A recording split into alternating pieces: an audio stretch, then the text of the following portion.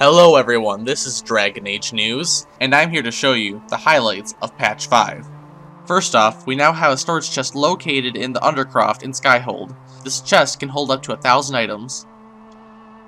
Next up, the shader quality has now been separated from the mesh quality and can be toggled like any other graphical setting. We also have a new slider in the control menu, which will allow you to control how far the camera zooms out during tactical mode. And lastly, my personal favorite, tinting, which allows you to use one material and make it look like another.